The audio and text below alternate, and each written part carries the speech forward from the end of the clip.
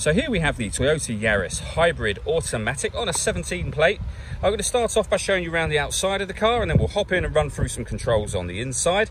But from the outside, you can see it's a five door car with alloy wheels. Let's start off inside the boot and then work our way around the rest of the car from there.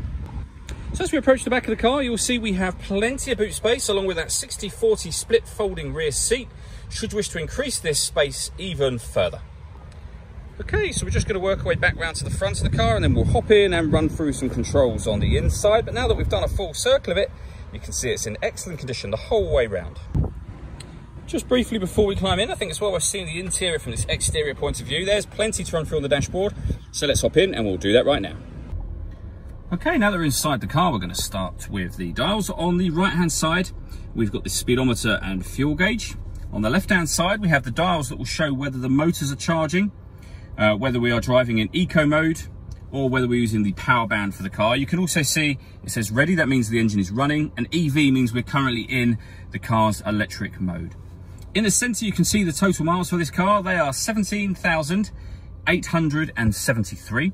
Above that, we have a digital readout for the speedometer. You can change the information that's being displayed there by using buttons on the steering wheel for various different bits of trip computer uh, and car information.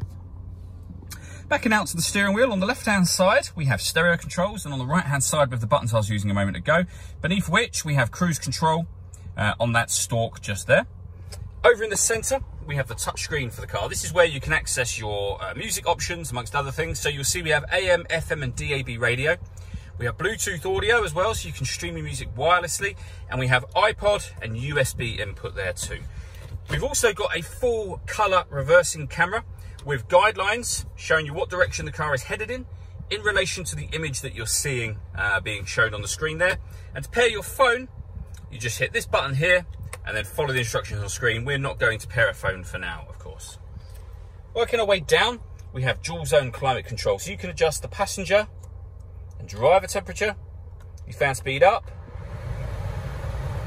and down from here. You can determine where you'd like the air to be redirected once it enters the vehicle. When you're happy with those settings, this button turns the air conditioning, in this case, off or back on again. Or you can hit auto and the car will now take control of the temperature, or sorry, the fan speed and the direction of the air to maintain those temperatures. And you can hear it doing that now.